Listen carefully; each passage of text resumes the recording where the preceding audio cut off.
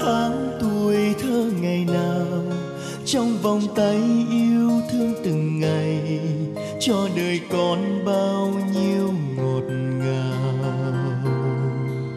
Giờ đây trong cơn mơ, con luôn gọi mẹ, nơi bao la giữa dòng sông xanh sinh con ra trong bao cực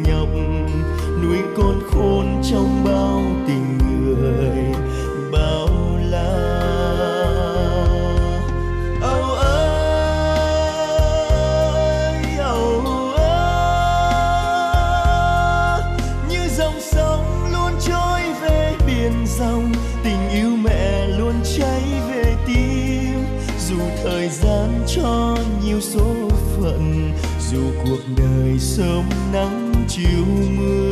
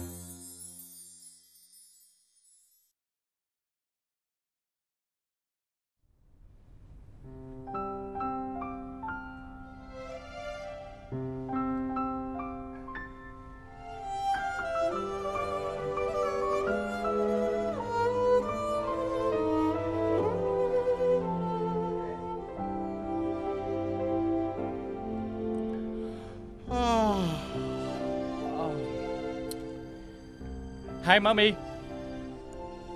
Tối hôm qua Mami ngủ có được không?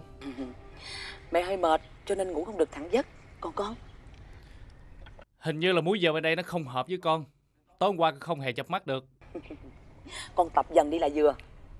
Ủa? Ý Mami nói vậy là gia đình của mình sắp định cư bên đây luôn à? Con không hiểu tại sao Lần này Dad đi về đây chuẩn bị rất là kỹ Và rất là chu đáo Đó là điều ba con luôn canh cánh bên lòng. Tâm nguyện cuối cùng của ông ấy là Muốn về đây sống hết quãng đời còn lại.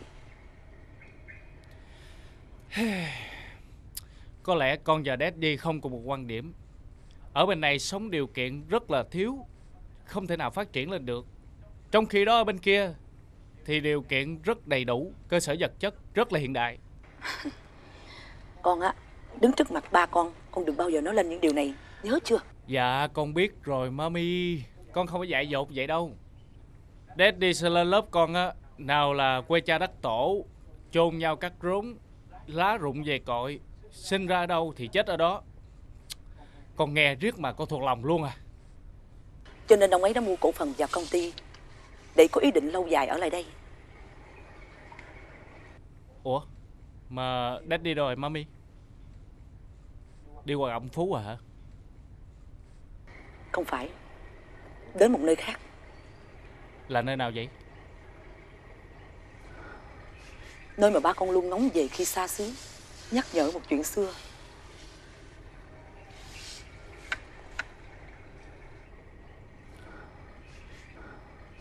Mami nói cái gì mà mơ hồ quá vậy? Đúng là Daddy và Mami khó hiểu quá đi. Nơi đó Mẹ không có quyền cấm ba con đến dù là lòng không muốn.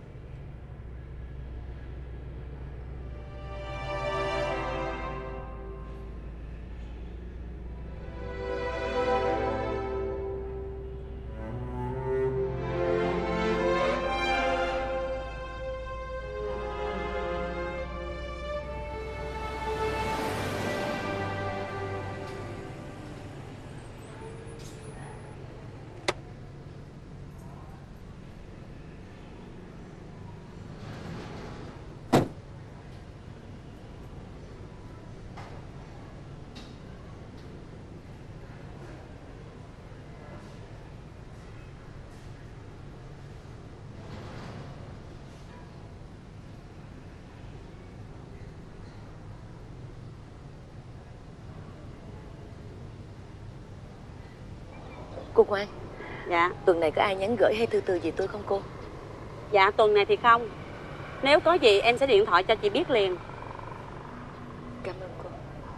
À mà chị Phương Có chuyện này lạ lắm.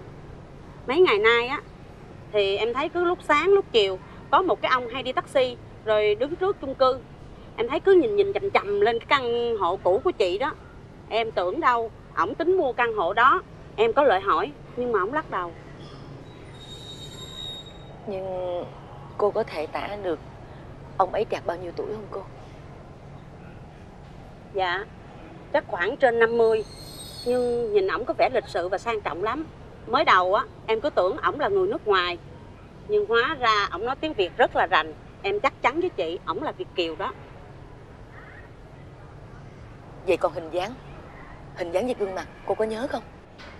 Dạ nhớ chứ. Tại vì ổng tới đây thường nên em biết rất rành dáng ổng á thì không có cao lắm. Nhưng nhìn ổng có vẻ rất là phong độ. À mà cái mặt của ổng á em thấy hơi bị rỗ.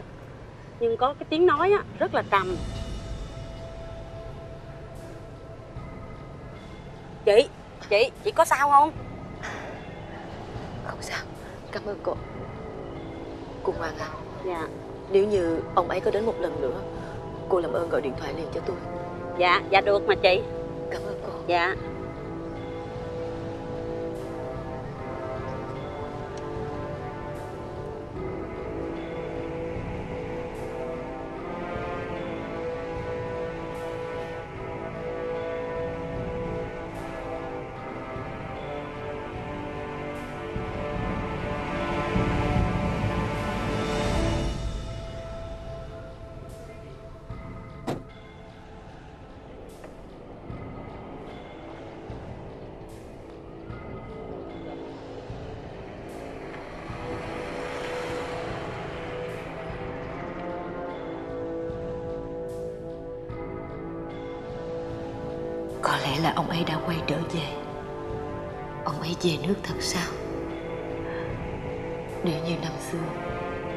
Ấy bắt thằng Bảo đi thì có lẽ Dạ mình đi đâu thưa bà? Về nhà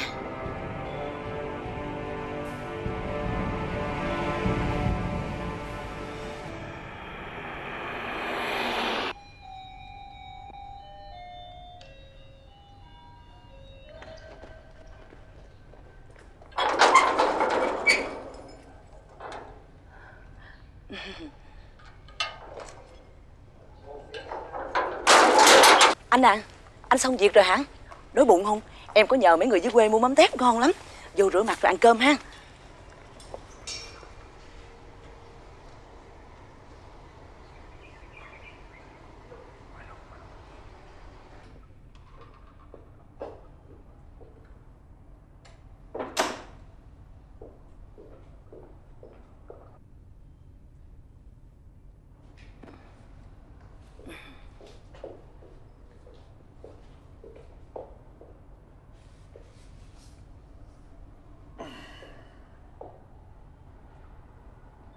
Anh mệt lắm hả? Vậy thì anh cứ nằm nghỉ đi ha. Khi nào đói á, thì anh nói em. Thằng Cường đâu? à, Nó đi chơi với bạn rồi. Ừ, Em quên nữa. Em mới mua điện thoại cho anh nè. Em nối mạng rồi đó. Số cũng dễ nhớ lắm. 0909 333 Tôi hơi 6 mệt Tôi muốn được nằm nghỉ một chút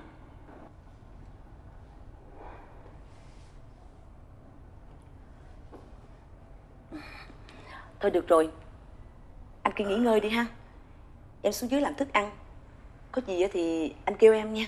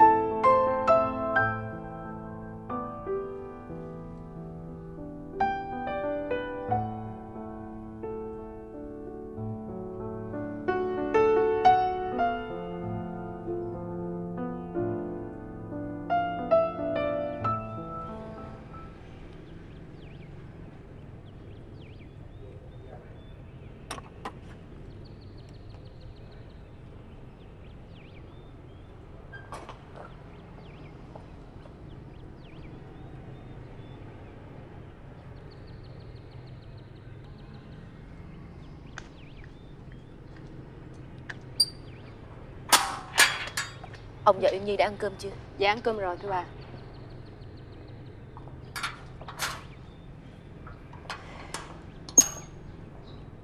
Tôi nghĩ là mình nên đẩy tiến độ không?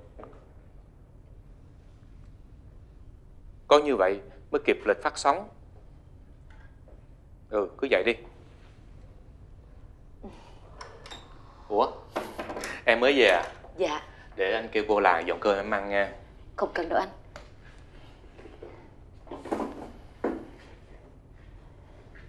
Anh à Anh vừa nói chuyện với bên sản xuất sao anh?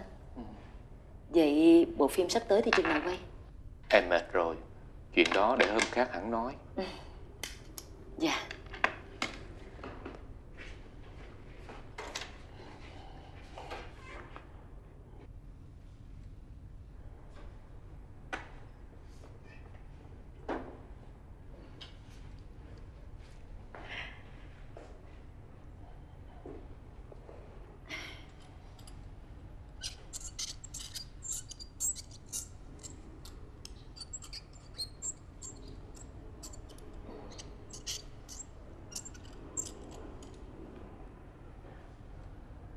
Hôm nay vẫn chưa có tin tức gì hả em?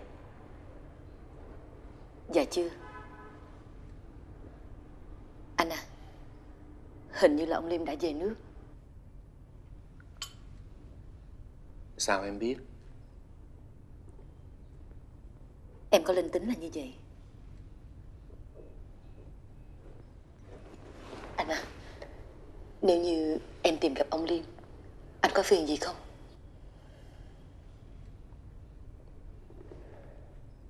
Bé bảo là do ông ấy bắt đi. Thì em phải tìm cho bằng được Để gặp con em.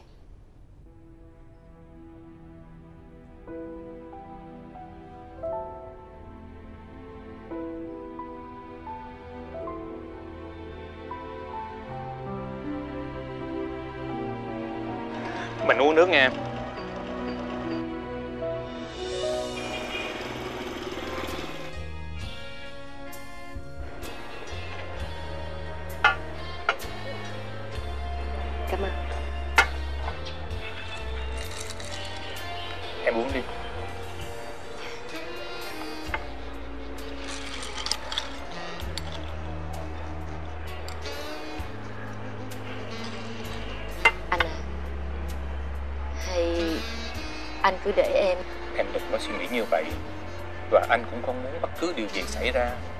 Tụi mình đến với nhau đã quá khó khăn rồi. Anh muốn giữ chặt lấy em. Và không muốn em phải xa anh vì bất cứ lý do nào. Nhưng còn gia đình và mẹ của anh thì sao Em nhìn anh nè. Em có tin anh không? Em có muốn tụi mình luôn ở bên nhau không? Tất nhiên là em muốn rồi Nhưng Vậy là được rồi. Rào cản gia đình của anh quá lớn? Còn mẹ nữa.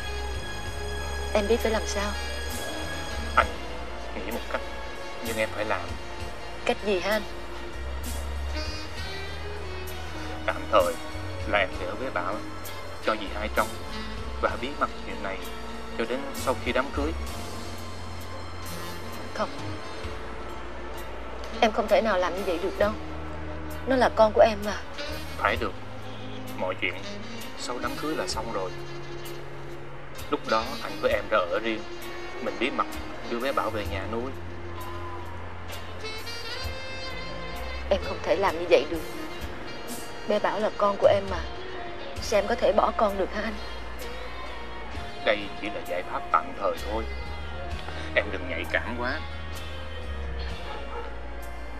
Em đâu có bắt em bỏ con đâu. Đây chỉ là đối phó với tình huống thôi. Phương nè, em tin anh không? Con của em cũng như là con của anh. Anh thề sẽ yêu thương bé Bảo như là con ruột của mình. Anh đã hứa là sẽ mang hạnh phúc cho em đến từ bây giờ mà. Cảm ơn anh em và con cùng anh nữa là một gia đình hạnh phúc nhất thế giới đó em tin anh không?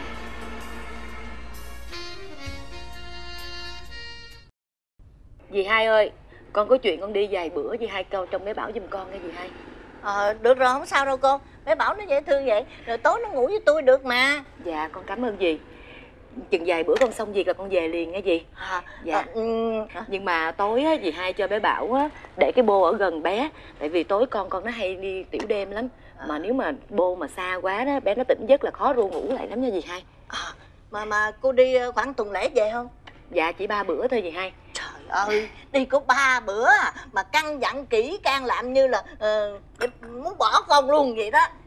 Được không? Có sao đâu. Nè, Dạ, nè, nè, dì ơi, nhưng mà- à, nhưng mà con dì- có thích bà hai không? Có Ừ, nói dạ. không nó thích nó dễ thương vậy. Nè con có thích bà hai ờ, tôi ngủ với bà hai ha. Rồi cái à, bà hai kể chuyện đời xưa cho con nghe. Thích không? Thích thích không đừng nó ngoan Ừ, vậy con yên tâm đi. mẹ giỏi ngoan Trời nha con. yên tâm đi đi không sao đâu. Dì Hả? nhưng mà ban ngày á dì đừng có cho bé coi cái phim gì mà nó nó nó kinh dị nha dì. Là sợ bé ngủ không được nha dì. Ôi không có sao đâu. Với lại dì hai nhớ cho bé bảo uống nước nhiều giùm con. Rồi rồi đúng rồi đúng rồi. À, mẹ cưng con trai của mẹ nè. Đi ba bữa mẹ về mẹ đón con nha con. Nha ba bữa thôi à mẹ về mẹ đón con liền nè. Mẹ mua đồ chơi cho con trai của mẹ nè. Nha con. Nha mẹ thương nha đã dễ thương quá đi. Rồi con cái gì yên tâm đi đi không có sao đâu. Để đó tôi coi cho. Dạ con cảm ơn nó dì ngoan lắm mà. Đồ chơi của con nè. Cưng quá. Rồi bé bảo ăn cơm giỏi nha. Ừ. ừ. Để cưng mẹ coi. Dì tối mà bé nó ngủ dì coi chừng cái sợi dây này Nó sẽ kẹt vô cổ bé đó nha dì. Không có sao Dạ. đâu. Đi có ba ngày mà làm gì dữ vậy? Mẹ thương nha con. Rồi đây bà nha. Bà cưng con nha. Chào mẹ cái đi nè. Chào mẹ tạm biệt mẹ đi. Ờ, mẹ đi nha, con đi nha dì. không? Không có sao hết á con cứ đi đi. Không sao đâu. Ừ, ở với bà. Ha con thương bà. Ha ờ. Mẹ đây Mẹ đây mẹ thương mẹ thương con mà mẹ thương mà. Ồ mẹ thương con trai của mẹ. Rồi đi ba ngày thôi là mẹ về. Ồ mẹ thương mẹ thương mẹ thương mẹ thương mẹ thương con. Mẹ thương mẹ thương con Mẹ mua đồ chơi cho con nha. Nha con trai của mẹ. Mẹ thương mà. Thôi đừng có khóc mà mẹ thương nha. Ở đi bà hai nha bà hai thương con nè. Đi không đâu không. Ờ, để để mẹ đi ba ngày mẹ về à. Nhá Mẹ đi mua đồ chơi cho con. Mua Đây đồ mua đồ chơi của con này nè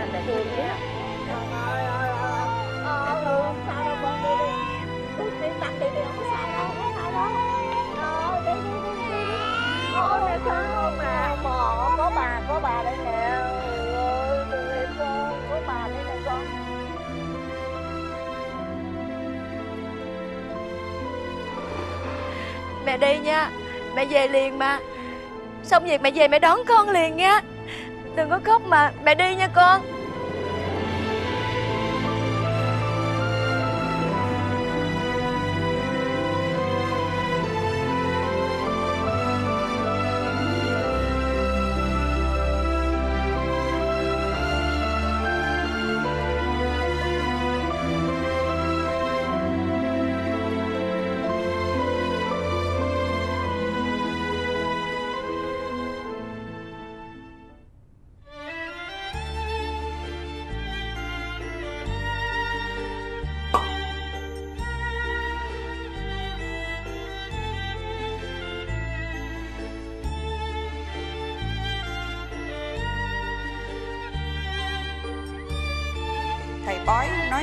Sau này sẽ cưới vợ có con riêng. Tức là nói mua một tặng một Được trâu thêm cả nghé Đời nào bác chịu vậy? Nếu là vậy á Bác không mới dám ra đường mà nhìn mặt ai luôn. Nghe Triệu khen con hết lời Bác cũng hồi hộp muốn gặp con. Bác thấy con trai bác rất khéo chọn vợ. Bác đồng ý cả hai tay. Vậy bác chọn ngày sớm vì thằng con trai của bác á, nó muốn vợ ra mặt rồi. À quên nữa. Để bác đến nhà bà thầy bói kêu bà giải nghệ luôn đi là vừa. Thầy gì mà nói hoàng xiên làm bác lo lắng gần chết.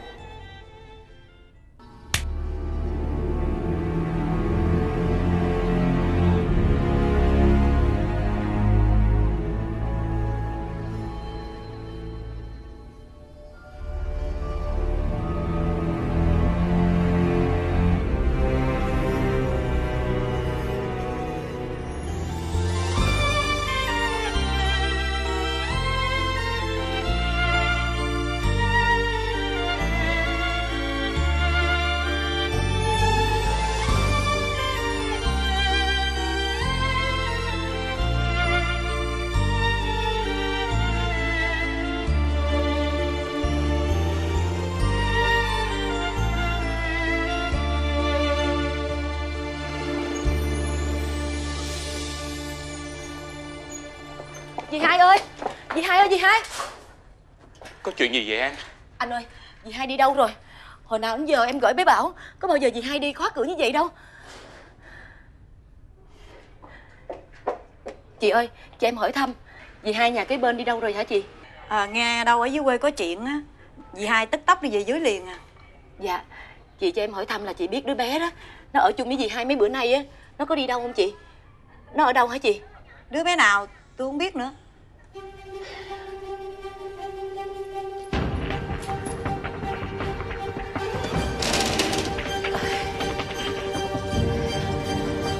Đi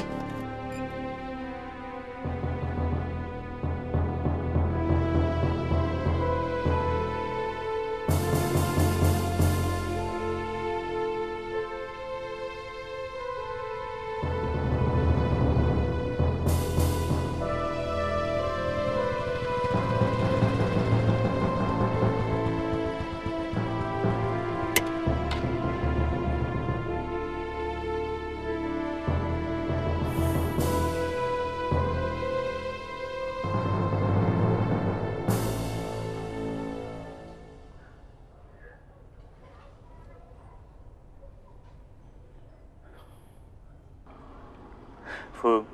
Em đang bệnh mà.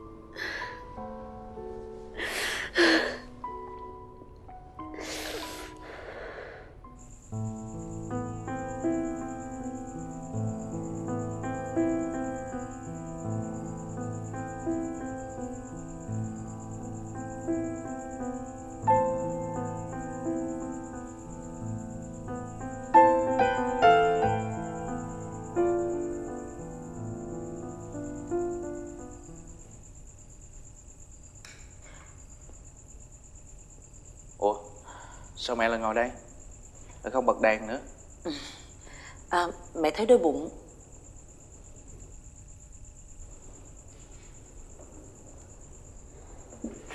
Mẹ Có chuyện gì vậy? Có phải là Chuyện gì người đàn bà trong quá khứ của ba không? Con không nên nhắc đến chuyện này.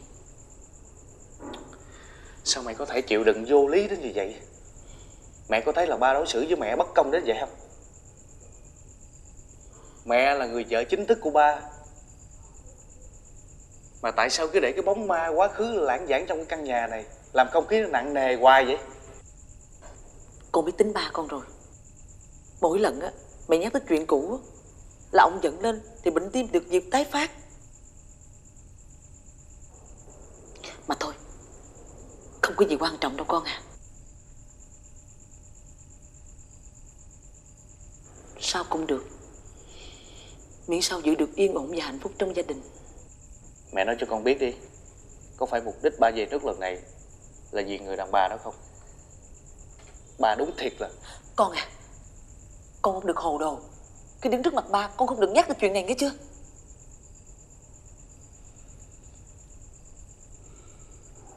Ok Con hứa với mẹ. Nhưng mà con không để chuyện vô lý này xảy ra hoài được đâu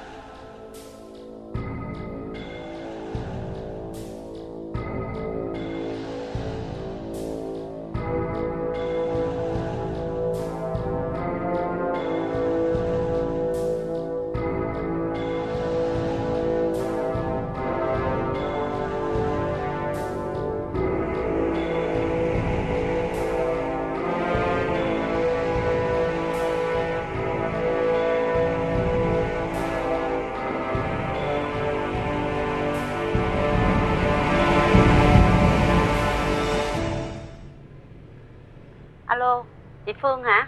Em là ngoan nè Sao em điện nãy giờ mà chị không chịu nghe máy vậy? Hồi nãy giờ tôi có công việc cho nên không biết có điện thoại nhỡ Cái ông đó ông đến rồi đó Ông... cái ông nào? Thì cái ông Việt Kiều mà bữa hổm đi taxi tới trước chung cư á, rồi cứ nhìn lên căn phòng cũ của chị đó Hôm bữa chị có dặn em á, khi nào ổng tới á, thì điện thoại cho chị Mà em điện chị nãy giờ mà chị không chịu nghe Ổng sắp đi rồi đó À, à, à, à. Cảm ơn cô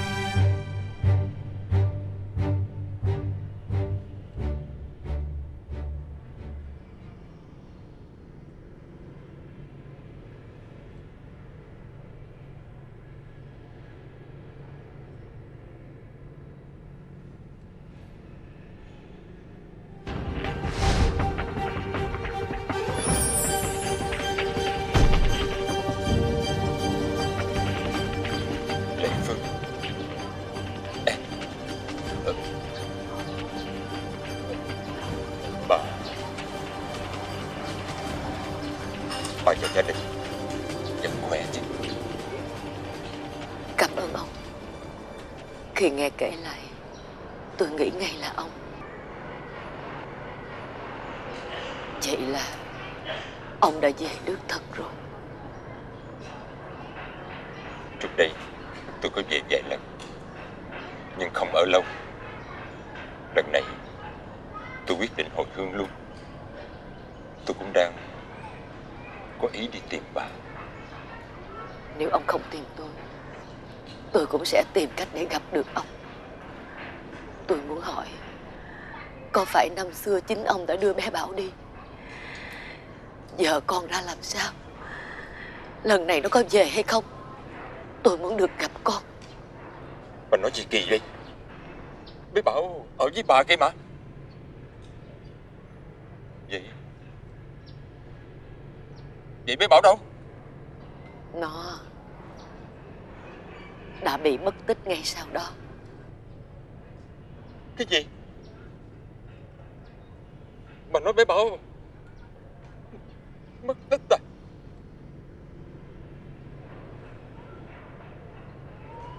Vậy là sao? Tại sao lại như vậy chứ? Hả? Ông vừa nói gì? Có nghĩa là Ông không đưa con đi theo ông thật sao? Không. Tôi không hề làm chuyện đó. Vậy là Vậy bây giờ Con của tôi đâu Bé Bảo đâu? Kìa!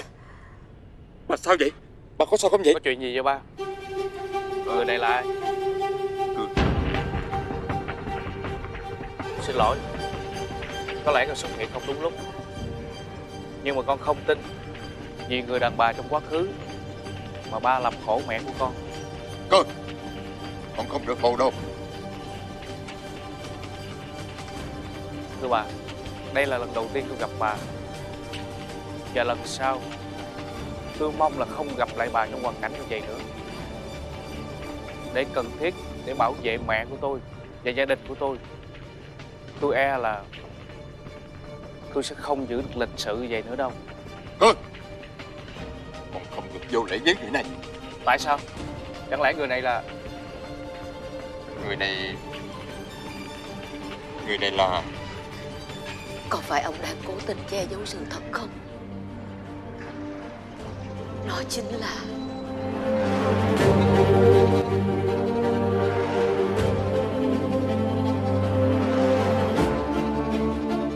từng ngày xa mẹ xa quê, lòng con mong nhớ từng ngày, nhớ về con đò quê.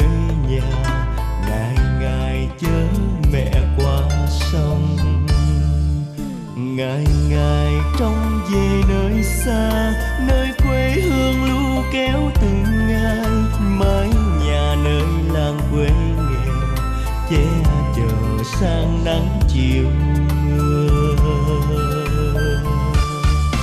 Mẹ thương con bao la biển rộng, con yêu mẹ như muối mặn biển đông, như dòng sông trôi về cội nguồn, nơi tình mẹ thắm mát đời con. Mẹ thương yêu quê xa có biết con nơi đây thương nhớ từng ngày. Nhớ ngày xưa bên lũy tre làng, tiếng ầu ở câu hát ru con mẹ thương con bao la biển rộng, con yêu mẹ như muối mặn biển đông. Như dòng sông trôi